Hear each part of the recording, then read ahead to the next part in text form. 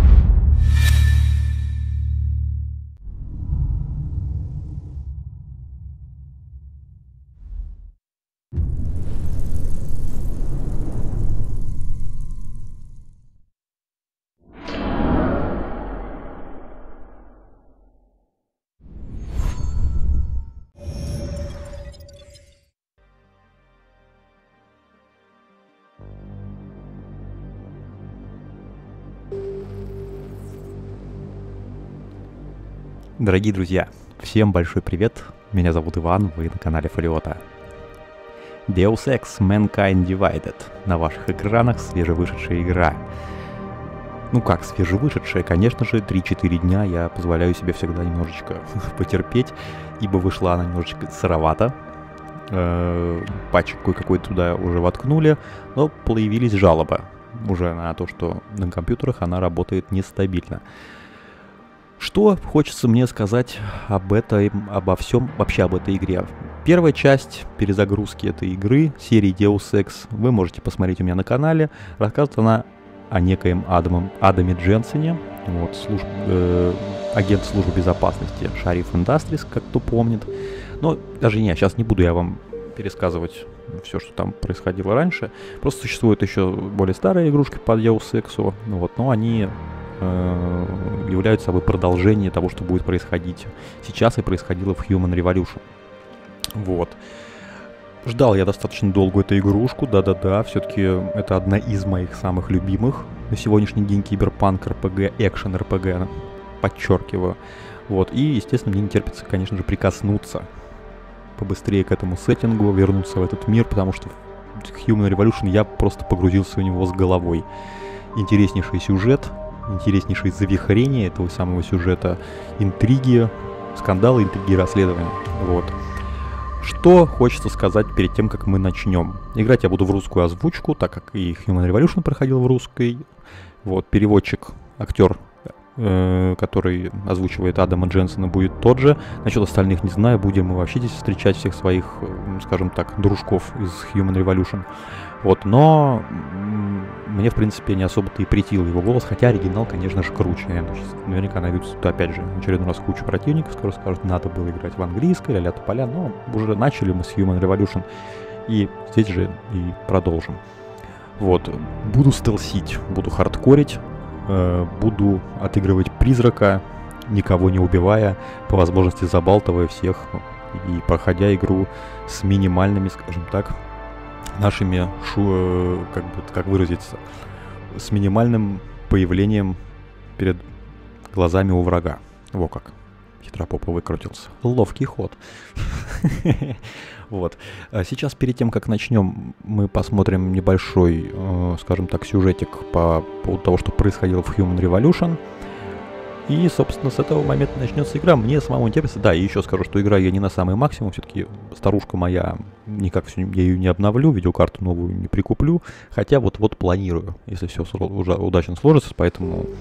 Но игра и так неплохо смотрится. Не на максимальных, конечно же, настройках. Не, не DirectX 12, но все равно. Весьма-весьма я посмотрел просто так вот параллельно прохождение у остальных людей, кто сейчас этим занимается. А ломанулись ее, кстати, проходить почти что все известные мне люди из Ютуба сегмента летсплея. Вот, но я ее буду проходить, друзья мои, да, оговорочка, я буду проходить ее не торопясь, буду проходить ее, скажем так, с лупой, как выражается один известный обзорщик. Э, показывать вам буду стараться все возможные, не все возможные пути достижения цели, а, естественно, конечно, по стелсу, но буду стараться зацепить из локации все, все возможные плюшки, апгрейды, деньги и тому подобные всякие интересности, которые будут заставлять нас, кстати, погружаться в эту игру, повторюсь, просто колоссальными потугами. Во как, опять я выкрутился.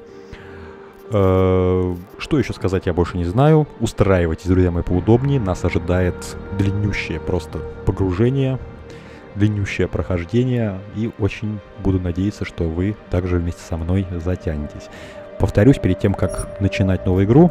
Да, кстати, здесь есть уровень сложности. Я очень пожалел, что хочу приключений выбрал в Human Revolution. Здесь такого не будет. Здесь я буду проходить на настоящем Deus Ex, будем хардкорить по полной. Я никого об этом не просил, но это вот на самом деле вообще уже жесть. У вас всего лишь одна жизнь, если умрете, придется начать все сначала. Это нафиг не для меня. Я боюсь просто сердечным приступом нафиг свалю здесь.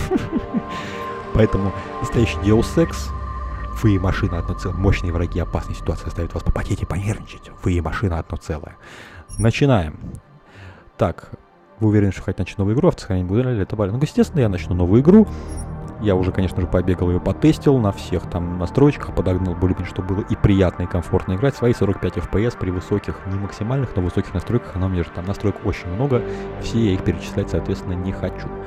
Посмотрим, э, что было в Human Revolution, друзья мои. Я пока помолчу. Шел 2027 год. Успехи в области биотехнологий позволяли людям довести физические и умственные способности до невероятного уровня. Если, конечно, хватало денег. Появился новый вид. Наполовину люди, наполовину машины. Только не всем это понравилось. В Детройте как минимум. Я как раз устроился начальником службы безопасности в Шариф Industries. Одной из ведущих фирм в этой области. Дэвид Шариф сам выбрал меня. Сказал, что обязан гарантировать безопасность своих сотрудников. Одной из них была моя бывшая, Меган Рид, нейротехнолог. Именно она нашла способ сделать аугментацию безопасной и доступной всем. Оставалось только представить результаты исследований Конгрессу, но в ночь перед выступлением моя служба безопасности дала Отряд наемников ворвался в штаб Шариф, перебив всех, кто попался на пути. Трое были аугментированы до состояния танков. Что было нужно? Ликвидировать Меган и ее команду. Я пытался остановить их но главный пробил мной стеклянную стену, и последнее, что я слышал, предсмертный крик Мэган. Потом мне в голову всадили Лучше бы я умер вместе с ней, но случилось иначе. Мою жизнь спасли военные имплантаты высшего качества. У шарифа было достаточно денег, чтобы снабдить меня лучшим. Я привыкал к ним полгода. Должен был быть дольше. Но на шариф Индастрис снова напали. В этот раз группа радикальных пуристов, выступающих за чистоту человечества. Агрессивных, вооруженных, фанатично настроенных против аугментации. Они заявили, что состоят во фронте человечества, некоммерческой организации, требующей от ООН ограничить исследования в области биотехнологий. Боевики захватили завод шарифа и рабочих, сверхурочно трудившихся над секретной военной системой «Тайфун». Шариф послал меня, чтобы ее спасти. Мне удалось это сделать, но рядом я обнаружил одного из так называемых пуристов с полным мозгом имплантатов. Он пытался снять важнейшее из параметров. Очевидно, дело было нечисто. Аугментированный покончил с собой. Я не сумел его допросить. Шариф приказал мне все разузнать, чем я и занялся с помощью Фрэнка Причарда, главы кибербезопасности фирмы. Выяснилось, что неизвестный второй хакер дистанционно контролировал действия аугментированного. Мы с Причардом отследили его сигнал до тайного лагеря Фема в Детройте. Там обнаружились и наемники, те самые, что практически убили меня шесть месяцев назад. Конечно, они попытались это повторить, но в этот раз я оказался крепче. Я вырубил Громилу по имени Барретт и даже заставил его дать мне новую наводку – пентхаус в Китае. Конечно, мы оба понимали, что там меня будет ждать ловушка.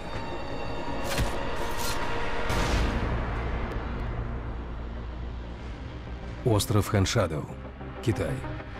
В здешнем городе так много людей, что поверх него пришлось построить еще один город. Найти кого-то в Хэншадоу нелегко. Хорошо, что я был не один. Фарида Малик, опытный пилот Шариф Industries, раньше жила в Хэншадоу.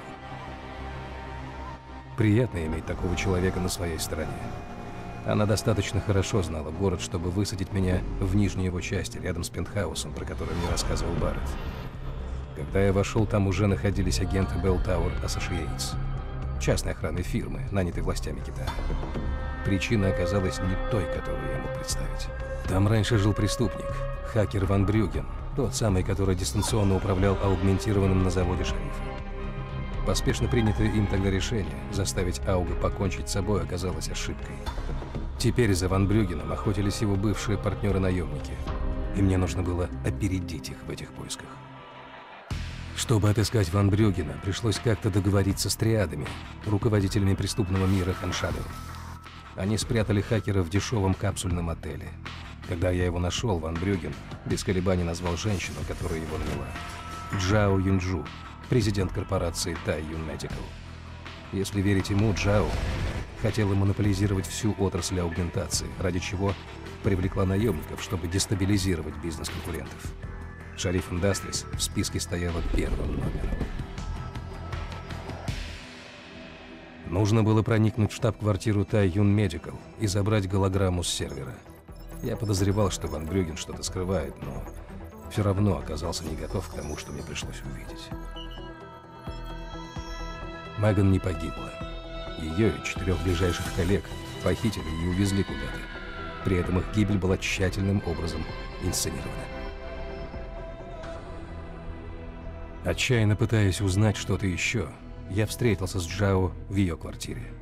Она хотела выставить себя пешкой в большой игре и указала на могущественную организацию, которая решает судьбы мира движением пальца.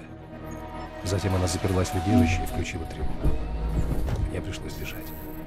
Я понимал, что Джа лгала, но часть ее рассказа укладывалась в общую картину.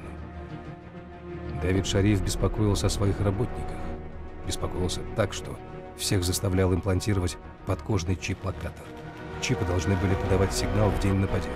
Но Джао сказала, что для их отключения хватило всего одного звонка в пик, ведущую мировую сеть новостного вещания через спутниковую систему.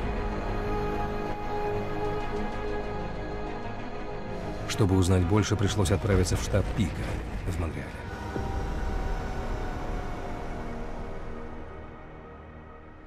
Элиза Кассан, главная по новостям сети Peak Communications. Малик подумала, что я преувеличиваю, когда я сказал, что в деле замешана Элиза. Зачем самый известный ведущий сотрудничать с наемниками? Когда я встретился с Кассан в ее офисе, она с готовностью признала, что заглушила спутники над Детройтом в ночь, когда похитили команду Меган. Сказала, что только выполняла приказ. Похоже, она собиралась сказать что-то еще, но тут появились наемники, чтобы заткнуть рот и ей, и мне. Или воспользовалась тем, что я отвлекся и исчезла. Наемниками командовала аугментированная убийца, с которой мы уже дважды встречались, Елена Федорова. Женщина, которая сделала тишину своим лучшим другом. Она дождалась, пока я отслежу передачу Элизы до тайной серверной под зданием Пика. Потом напала на меня со спины. Я сделал так, чтобы больше она никому бесшумно не подкралась. Когда не осталось ни Федоровой, ни кого-то другого, вновь появилась Элиза. Оказалось, что ведущая новостей была даже не человеком, а развитым искусственным разумом, предназначенным для слежения за потоками данных и управления тем, во что верят люди. Элиза рассказала, что наемники привели врача фронта человечества, Исаю Сандавала, чтобы тот удалил чипы похищенных ученых, пока спутники над Детройтом молчали. Также она посоветовала мне поговорить об этом с Дэвидом Шарифом.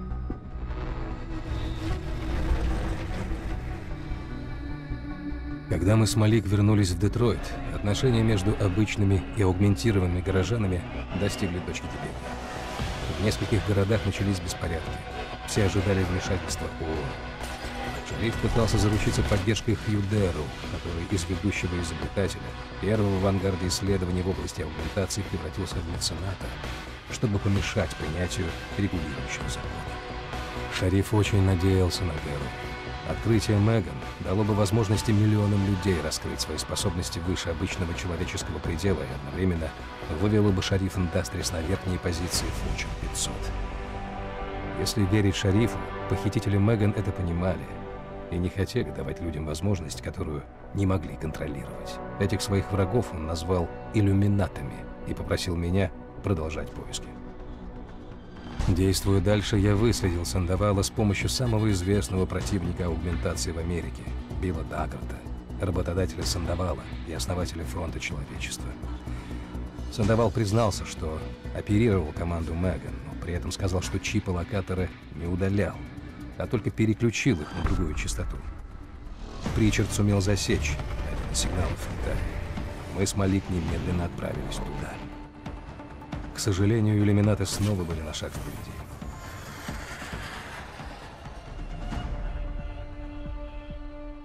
Мы попали в засаду и были сбиты Белтауэр Associates сразу после того, как вошли в воздушное пространство Хэншаду. Нас спасли только летные навыки Малик. После непростого боя я отступил в нижний режим. Сигнал привел меня прямо к триадам. Точнее говоря, к механической руке Тонг Сихунга, вожака банды жнецов, собирающих аугментированные части тел. Тонг сказал, что забрал руку с трупа, подброшенного Белтауэр под их дверь. Значит, по крайней мере, один из ученых шарифов был уже мертв. Оставалось надеяться, что остальные живы. Тонк указал мне на порт, который использовался для контрабандных перевозок людей, и помог попасть на корабль Болтауэр. Так я добрался до станции на острове Райфлмен, военной базы в Южно-Китайском море. Там похищенных гражданских заставляли работать над проектом «Хирон», интерфейсом между человеком и компьютером. Многие в ходе экспериментов гибли. Тут мои поиски Меган подошли бы к концу, если б не загадочный союзник по имени Квин. Я помог ему добыть компромат на Белтауэр, а он провел меня на второй корабль, идущий в Сингапур, указав на биотехнологическую лабораторию иллюминатов под названием «Ранчо Омега». Там обнаружились трое из ученых шарифа, которых похитители заставили работать на технологии дистанционного отключения аугментации. Благодаря экстренному заявлению Всемирной организации здравоохранения миллионы людей уже установили нужные для этого биочипы. С помощью ученых я узнал, что Меган находится в закрытой части ранчо. Там я столкнулся с Джараном Намиром, тем ходячим танком, что в свое время выстрелил мне в голову. Вместе с Джао он надеялся застать меня врасплох. Устроенная ему засада не увенчалась успехом. Я нашел Меган в жилище Хьюдероу, миллиардера-мецената, которого шариф просил о помощи. Дэроу убедил ее работать над схемами биочипа, сказал, что это нужно ради общего блага. Пока она мне это объясняла, Дэроу появился в трансляции, охватывающей весь мир, и сказал, что тотальная аугментация означала бы гибель человечества, а затем активировал те самые биочипы, чтобы подкрепить свои доводы. По всему земному шару аугментированные люди начали убивать окружающих. Дэроу предал всех, и теперь только я мог все исправить. Чтобы сделать это, нужно было добраться до Панхеи, огромного сооружения в. В коридорах, выстроенных аугментированными рабочими, я видел смерть и разрушение. К тому времени, когда сигнал Дэрроу удалось отключить, я уже представлял масштаб нанесенного вреда. Но будущее человечества оставалось неясным. Как мир отреагирует на такую диверсию? Смогут ли люди снова доверять аугментированию? Каким окажется следующий ход иллюминатов? Только время даст ответы на эти вопросы.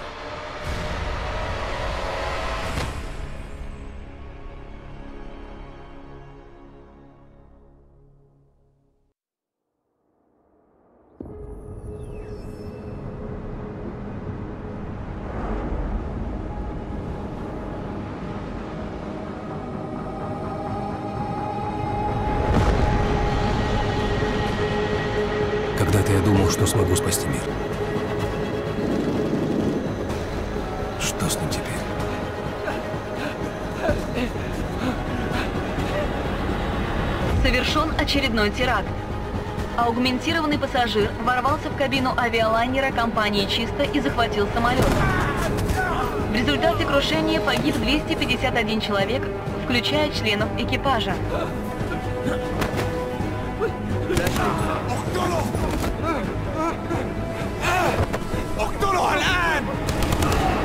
Расшифровка бортовых самописцев показывает, что виновник трагедии мог страдать от галлюцинаций после инцидента, ужасного события двухгодичной давности, когда аугментированные по всему миру впали в необъяснимую ярость, что привело к наибольшему числу жертв в новейшей истории. Иногда лучше забыть обо всем. И смириться с тем, кто ты есть. Не вздумай только слететь с катушек, железяка.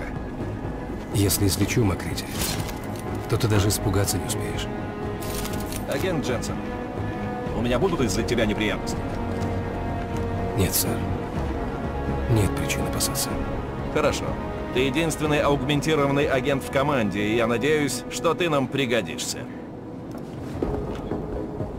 Теперь слушайте все. Надвигается песчаная буря, времени мало. Ошибаться нам нельзя. Мы ищем торговца оружием по фамилии Шепард. Он бывший сотрудник Белтауэр. Один из офицеров спецназа, пропавших во время инцидента. А сейчас вдруг появился? Это не к добру. Точно так. Он продает оружие и военные аугментации террористов. Арун Синг, агент под прикрытием, который сумел выманить Шепарда из его норы. Лучший агент, что есть у Интерпола. Он три года работал, чтобы стать своим среди джин. Иракские контрабандисты, чей картель опутал все восточное полушарие. На прошлой неделе наш торговец оружием предложил джинам прорву товара с черного рынка по смехотворно низкой цене. Они послали Синха организовать сделку. Они не обрадуются, когда в гости нагрянет Интерпол. У Сингха правда хорошее прикрытие? Сейчас да. Постараемся, чтобы так и осталось. Обмен будет проходить здесь, в недостроенной многоэтажной гостинице. Она пустует с самого инцидента. Картина внутри весьма неприглядная. Сейчас угадаю. Рабочие были аугментированы для тяжелых строительных работ. Когда же они взбесились во время инцидента? Началась настоящая кровавая баня. И с тех пор внутри не бывал никто, кроме нескольких бездомных торчков. И каков план, директор? Синг встречается с Шепардом на нижнем этаже в главном атриуме гостиницы. Большую часть джинов он отправил в пентхаус, чтобы занять выгодные позиции. Группа Макриди зайдет сверху, расположится над атриумом и произведет арест. Дженсен отправляется на крышу. Какое задание? Не пустить джинов к общему веселью. Насколько нам известно, единственный путь из пентхауса в атриум – относительно целая шахта лифта. Она здесь. Полностью блокировать доступ. Хорошо, готов начинать. Агенту Дженсену я бы посоветовал не полагаться только на свои аугментации. Будьте осторожны.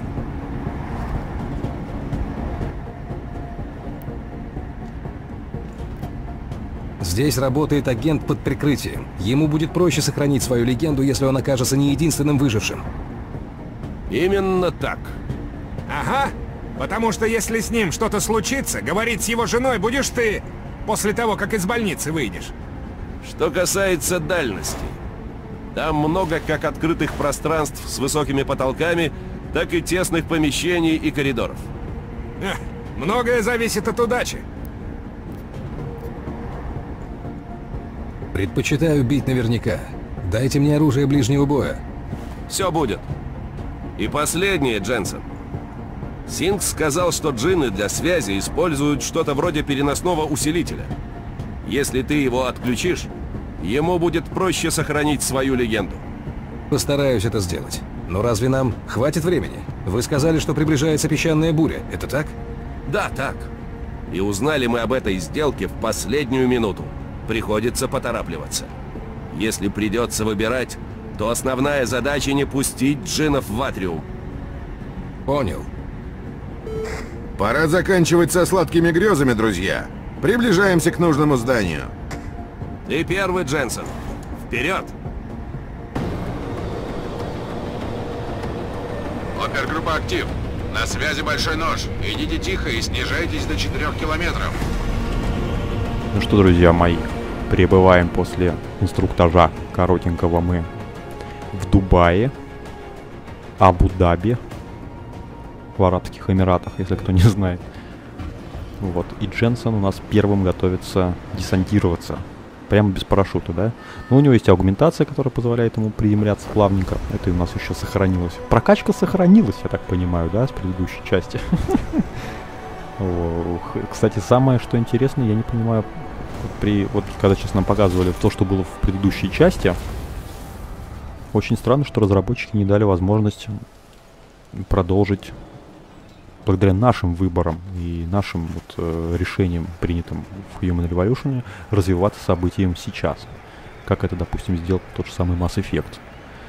Но приземлились мы, собственно, на разрушенное Дженсон, здание. начальнику группы. Я на крыше. Понял. Заходи в здание. Нужно блокировать проход в дальней части пентхауса. Помни, что попасть туда напрямик может быть сложнее всего. Так точно. Макриди сообщит, когда его группа будет готова. Конец связи. Болтовни тут, конечно, по-прежнему очень много. В общем, не сказал бы я, что приветливо, но очень и очень красиво и детально встречает нас сия локация. Что-что, а деталям они здесь очень много уделили времени. Будем осматриваться, будем по углам по всем смотреть, что где лежит неровно, разглядывать всякие бочки, отталкивать их смотреть, что может под ними, а под ними может быть все что угодно. Это я еще понял из Human Revolution. На более низком уровне сложности, кстати говоря, здесь очень много подсвеченных предметов, которые не дадут мимо себя пройти, но... А вот на этом, дайте мне Deus Ex, или как там брать, настоящий Deus Ex, предстоит самому вынюхивать. Ну и это на самом деле даже лучше, потому что ну, там просто столько всего на экране у вас будет, если вы будете на низком уровне сложности проходить, что просто как-то мне лично стало некомфортно. Так, вот здесь вот лежит трупик, на нем есть карманный секретарь, который позволяет нам... Я не буду зачитывать вслух все это дело, друзья мои, я вам на паузу предлагаю нажать и зачитать. Вот мы получаем здесь полезный код. Я надеюсь, что мы его применим. И какие чаечки, смотрите, какая буря песчаная. Обалдеть. Я бы не сказал, что прям супер это все смотрится Next Gen, даже на самых топовых настройках она, в принципе, точно так же показывает, такую же показывает картинку. Но, в принципе, вот сама атмосфера просто завораживающая. Вот. Тяжелые предметы, кстати, у нас были тоже прокачаны таскать. Холодильничек, да, это у нас, ну или шкаф какой-то полетел со всей вытекающей из Дженсона силушкой богатырской. Дженсен, мы проходим. Ах, черт! Что такое? У них тут несколько генераторов запущено. Придется взламывать панели. Ты справишься, Макрити. Все не сложнее детской мозаики. Красный — это фу, бяка. Да пошел ты. Да, забавный диалог. Какие-то такие цензурированные уж чересчур у них тут перебраночки идут. Хотя в дальнейшем, я думаю, это все тело поменяется. Не забудьте заглянуть перед тем, как вы запрыгнули наверх, в заднюю нишку вот эту. Там, видите ли, я подобрал парочку интересных предметов. Собственно, это у нас панель аугментации, которая позволяет использовать всего 4. Возможно, 5, если еще учитывать левый уголок вот от этого крестика внизу, в левом, если да. Возможно, можно, возможно, можно будет 5 использовать. Пока еще я тол толком не разобрался, но будем, что называется, по ходу пьесы. Так, труп я тут очень много валяется. Опять же, рекомендую осматривать каждого. Вот, можете действовать по моему, собственно, прохождению и собирать с них как минимум кредиты. Вот валяется шкафчик, тоже тут кредиты лишние. Не забывайте. Бабки тут пригодятся. Погодят, пригодятся на праксисы. Праксисы будут продаваться наверняка, как и в Human Revolution. Поэтому деньгами пренебрегать не стоит. Я помню, в принципе, достаточно неплохо прокачался в Human Revolution, но опять же я пожалел, что я играл там на среднем уровне. Надо было, конечно, наставить. Каюсь, каюсь. Так, вот у нас еще тут лесами, какими-то придавленными, не лесами, а какой-то стойко придавлен трупак. И у него тоже какой-то карманный секретарь. Естественно, я опять же нажму на паузу. Вернее, вам предлагаю нажать на паузу, чтобы вы прочитали, зачли все это. Но ничего полезного вроде здесь как бы и нету. Так. Я буду, конечно, стараться сам прочитывать мельком то, что, когда буду записывать, потому что мне самому интересно читать. Но, а вы, друзья мои, я просто читаю про себя гораздо быстрее, чем вслух. Вслух это все зачитывать смысла никакого нет. Я сначала пишу, потом уже это дело комментирую традиционно. Я делаю в своих прохождениях. Поэтому, если кто-то, повторюсь, не успевает читать то, что я показываю, газеты, какие-то газетные вырезки, карманные секретари и тому подобное, а мы будем находить э, такие синенькие, как они там называются-то, планшетики, где нам еще за это будут давать, кстати, очки опыта. Так, собственно, это система взлома компьютеров. Она претерпела визуальные, скажем так, корректировки, но, по сути, смысл остался тот же. Есть несколько узлов и центральный узел, который охраняется фаерволом. Так, если один из узлов за этом, на этом фаерволе завязан, соответственно, включается тревога и начинает тикать время. Начинает тикаться. Заговариваюсь. Вот. Э, и вы, собственно, рискуете, опоздав, не взломать зелененький этот центральный узел, который, собственно, дает нам доступ к взлаваемому, взлаваемому объекту. Господи, я уже все. Надо орехи, короче, в щеки вставлять, чтобы скороговорки проговаривать. Взламываемому. Ладно, проехали, я думаю, суть вы поняли. Здесь нам предлагают пройти небольшое обучение, да, это так чисто для себя записал. Ничего здесь сверхъестественного нету. Система укрытия работает, в принципе, также с некоторыми дополнениями и изменениями. То есть мы прижимаемся, вид плавно перетекает от третьего лица, вот, позволяя насладиться нам неплохим дизайном самого нашего главного персонажа. Красиво нарисован, дает его блестящие руки, костюмчик его. Смотрится все очень здорово. Плюс, ко всему прочему, можно от укрытия к укрытию теперь перебегать автоматически, как это, допустим, делал Сэм Фишер в Splinter Cell Conviction и Blacklist. То есть такие привязываемые объекты. И это прикольно, надо сказать. Мне по нраву такая система укрытий. Для стелса нам она будет очень помогать. К тому же не только можно, кстати, видя третьего лица прибегать от укрытия к укрытию, можно и к куда-то, скажем так, в любую плоскость, что называется, тыкнуться мышкой, и он добежит. Правда, потом перейдет от первого лица. Вот еще кредиты мы нашли. Пролазим здесь по альтернативному пути. Не вырубать я не хочу пока этих охранников. За невырубку врагов, по-моему, дают какой-то серьезный подход не ачивка это, а вот бонус за локацию. Вот, и к тому же это повышает вашу вероятность все-таки закончить эту миссию призраком. Я ее сейчас, естественно, закончу на максимальные всевозможные призрачные очки, с учетом того, что мне еще удастся как-то достать какие-то плюшки в виде денег э, и тому подобных ништячков, которые мы будем находить, которые нам, возможно, потом будут пригождаться хотя бы на продажу. Так, это, собственно, лечилка. Как вы видите, на карте ходит чувак. Внимание! На Доплере видно, что надвигается буря. Она будет сильной и здорово нас потреплет. Ненавижу ебаную пустыню. О, а вот и матерок пошел. Да. Время работает против нас. Понял. Вас понял. Мне на секунду показалось, что это Петр Гланс. Это он с обычным матерком не брезгует какой-нибудь игрушки перейти. Но уже, в принципе, давным-давно еще в Ведьмаке стало нормальным матом ругаться. И это, в принципе, неплохо, друзья мои. Меня это радует. Хоть какую-то, никакую, но передает напряженность в диалоге, как минимум. Как максимум скрашивает очень и очень все эти зацензу... зацензуренные выражения. Поддает, скажем так, колориту. Собственно, в этой локации очень много ящиков, как вы видите, да, и я, повторюсь, рекомендую вам их все обшарить. Для этого вам надо будет дожидаться того, как охранник будет отходить в дальний угол, вы можете наблюдать на мини-карту. Это, кстати, не такая вот прям условность уровня сложности, а это прокачанный ау аугмент, так называемый, который позволял нам видеть еще в предыдущем, ну не в конце, а по степени прокачки наблюдения за миникартой и врагами, куда они смотрят, в принципе. Это еще фишка еще самых командосов, кстати говоря, есть. Это те же самые разработчики, ну, я надеюсь, что те же. В всяком случае, IDIS Interactive точно. Так, здесь мы не будем проходить э, обучение, оно опять же будет связано именно только с перемещениями от укрытия к укрытию. Тут стоит охранник, и я вот здесь небольшую ошибочку допустил, э, прыгнув без аугментации на бесшумный ход свой, который, видите, динамик такой с крестиком, самый верхний тогда бы не отреагировал вот этот вот охранник, но он нас не заметит, и вот это вот его состояние не влияет никак на ваше призрачное прохождение. Поэтому главное, чтобы он вас не засек и не поднял тревогу, главное, чтобы у вас красненьким не стал индикатор. Тогда можно будет, переждав кое-какое время, нарушив, скажем так, его маршрут немножко, но он все равно так или иначе потом возвращается в исходное свое положение. Алгоритм, скажем так, его маршрута впоследствии не меняется, если вы не подняли тревогу. Он походит, пошумит, но потом вернется. Уже такого сэндбокса непредсказуемого не будет. Поэтому ждем.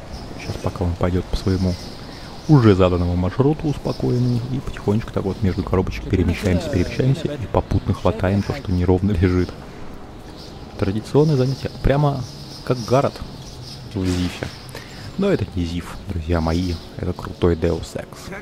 Я прям предвкушаю, насколько здесь все круто за дизайне, насколько здесь все будет круто проработано в плане... Вот дают нам странника за лазание по вентиляции. Я прям предвкушаю, насколько здесь все круто будет проработано в плане достижения наших целей. И мне это не дает покоя, как можно быстрее начать проходить. Но, как я и сказал раньше, проходить я ее буду не спеша, изучая, э, как-то вот пробуя для себя начало искать в вариант. Медленнее, чем хотелось бы. Тут словно погром на кладбище был. Не понял. Когда в 27-м случилась эта хрень, народ ломился к лестнице, похоже. Тут повсюду горы трупов. И твоих дружбанов хватает, Дженсен. Тебе, может, запчастей принести каких-нибудь? Мне со сливками. Двойную порцию сахара. Раз уж вы спросили. Что это он интересно имел в виду? Это так, ну, такую шутку за 300 отмочил, да? В общем, пробираемся за коробочками за идущим в эту комнатку товарищем. Его мы пока вырубать тоже не будем, не пока, а вообще не будем. Так, ждем пока только он. Да, вот видите, он здесь подходит к перилам, потом резко разворачивается и идет в смежную комнату. Дженсен, ты где сейчас? Пробираюсь через пентхаусы. Не забывай проверять, нет ли там усилителя связи джинов. Если сможешь, отключи его. Так точно. Здесь я задержался только для того, чтобы побрать вот этот труп, друзья мои. Все, пошел он обратно, только нужно аккуратно, потому что э, даже когда Дженсен в приседе, он обладает как быстрым, так и медленным шагом. Вот, и при быстром шаге вас могут обнаружить на слух. Вот. Прыгнув в комнату с газом, не забудьте метнуться налево, в левый уголок и да вообще и в правый тоже, но в правом, правда, ничего нету, сразу могу сказать, на предмет ништячков, которые вам пригодятся впоследствии. Так, ну что ж, переходим в следующую локацию. Здесь ходит товарищ, только не торопитесь, он оборачивается. Да-да-да, на столе лежат, лежат, лежит пистолет-пулемет. И его можно схватить, и как только отвернется охранник, пробираемся сюда наверх и пролазим вот в этот вот вентилятор. Вентиляционный, конечно, шахта. Вот за нее нам странненько, я не знаю, сейчас дадут, не дадут. Но если что, кстати, можно вылезти вот здесь. Зачем? Ну, это как альтернативный ход просто. Так. Автосейвиками я, конечно же, буду пользоваться. Странника, кстати, нам почему-то не дали. В этой комнате находится дополнительное сюжетное задание и Так, два охранника. все. Чан взломал радиосигнал Джина. Сейчас проверяет патч. Очень скоро мы услышим Сингха. Забавно, в первой игре خليل الراجل اللي هيبيع لنا الحاجات جايه كمان شويه روح قول لبقيه روح قول الناس لبقية. آه، ان انا هحصلكم в первой игре خليكم выходил зомбиза он, когда я начинал кого-то молотить, по-моему, если мне память не изменяет. А здесь такой прям человек-невидимка начинает тебя прям как кризис, прям кризис. Это прикольно. Так, газетенки. Блин, ну вот их, конечно, зачитывать это уж совсем прям, честно говоря, я не это самое. Есть контакт. Принято. Я нас снова подключу, когда начнется сделка. Все, все набазарились. Так, Хамид закончишь в Дубае, ля-ля тополя, здесь тоже. Я не знаю, попробовать. Я если кому-то так это все быстро напрягает, ну просто нажимайте на паузу, ребятки, и читайте. Вот еще одна, один планшетик, вот за эти планшетики, кстати, нам дают очки опыта с классностью ученый, да, по-моему. Также нажимайте на паузу и прочитывайте. Да, ученый. Все, отрубаем, в общем. Миллер, я отключил усилитель джинов. Теперь им будет сложнее что-то услышать или передать. Отлично. Если повезет, легенда Сингха не пострадает, когда все закончится. Понял, теперь направляюсь к основной цели. Да, и не забывайте шкафчик. проверить, там тоже лежит полезный ништячок. Собственно, отключен у нас, отключена у нас система наведения джинов. Ура-ура! И теперь можно выдвигаться уже поблизости, собственно, к самой точке сбора. Где, собственно, будет происходить сделка или что-то там такое, да? Мне так нравится, как песочек здесь сыпется. Блин, конечно, здорово над детализацией поработали. Даже, в принципе, как многие говорят изданий и обзорщики, что Deus Ex это игрушка не про графику, да? Но не могу не отметить, насколько все-таки они поработали над движком.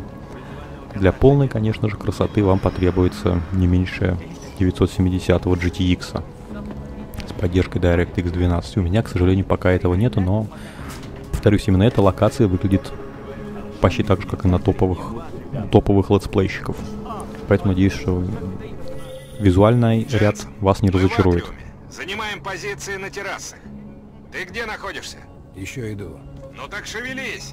Вражеский борт на подходе, и скоро придет песчаная буря. Ты усилитель связи отключил? Да, вывел из строя. У железного дровосека есть сердце. Молодец. Думаешь о команде.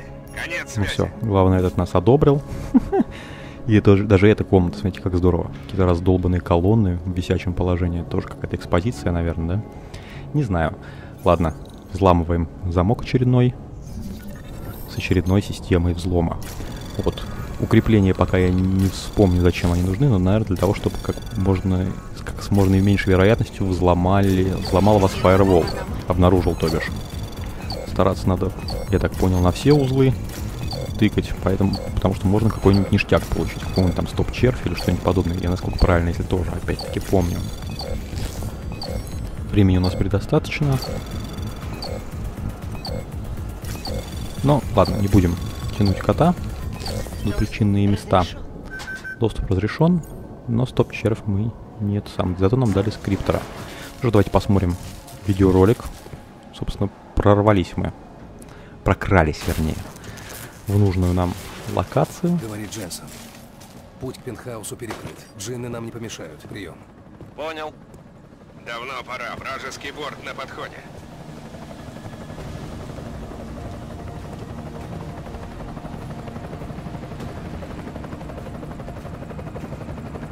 Так, ударные группы. Занять позиции. Удар один. На месте. Удар 2. Все готово. Удар 3. Готовы. Удар 4 на позиции. Ждем. Всем приготовиться. Да, конечно же, Борис. Закрой рот, Холидей. Заткнитесь оба. Удар 5 на месте. Всем внимание. Синг видит Шепарда. Сейчас подключу. Цель в зоне действия. Не забывай, там Синг. Стрелять осторожно. А ты смелый, Син. Затевать сделку прямо перед бурей. Матери природе, я не командир, мистер. Зови меня Шепард. А, был такой капитан. Это оружие? Интересно, что он имел в виду, кстати говоря. Того ли Шепарда он имел в виду? Их сейчас найти все труднее. Оружие пока в вертолете. Покажи мне деньги, и мы... Какого? Вот это круто. Ассасины, гашашины в масках из стелса. У нас тут гости. Шепард мертв. Охренеть. Но кто? Что там происходит? Миллер. Это не джинны. Повторяю, это не джинны. Слаженно действует. Вы посмотрите. За оружием пришли. Огонь! Открыть огонь! Открыть огонь! Вали! Они к вертолету идут. Стрелять можешь? Нет, нет! Мы под сильным обстрелом! Вертолет не должен взлететь! Шанса! Понял. Что-то напомнили мне багровые реки вторые. Хм, Такие же там были, черти. Плохо! Они совсем близко! Надо спасти Сингха! Дженсен, мне с ним не связаться! Так, друзья мои, на лифте спускаться мы не будем, прыгаем вниз, благо аргументация нам позволит приземлиться мягонько. Вырезать мы никого вырубать, вернее, не будем, тут идет полный бардак, рискуем быть замеченными, испортить себе репутацию призрака. время, но тебе надо нейтрализовать вертолет. Принято. Вот, для начала нам надо скушать также батончики этой киберэнергии, э, для того, чтобы передвигаться сначала бесшумным шагом, а потом вовсе войти в инвиз, чтобы нас не спалили, несмотря на бурю, нас все равно почему-то отчаянно палит. Не знаю, с чем это связано.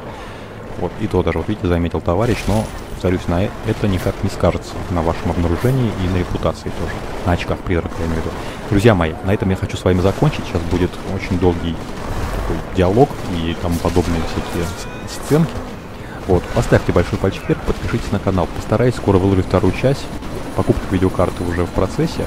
Но если у кого-то есть желание этот процесс ускорить, реквизиты для денежек будут в описании под Миллер, видео. Обездвижен, повторяю. Ни в коем случае я не клянчу, чисто ваше добровольное, что называется, начало. Помощи Да каналу. С вами был Фариот. Скоро увидимся. Всем большое пока.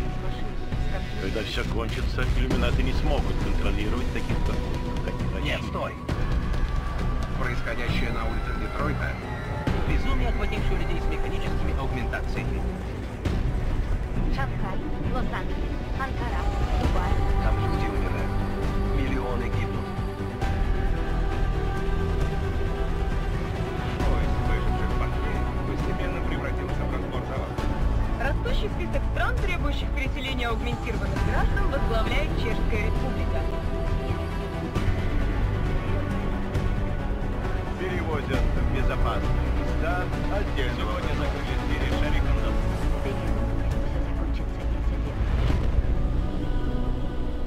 Мы были жертвами. Нас наказывают за момент, когда мы себя не контролируем.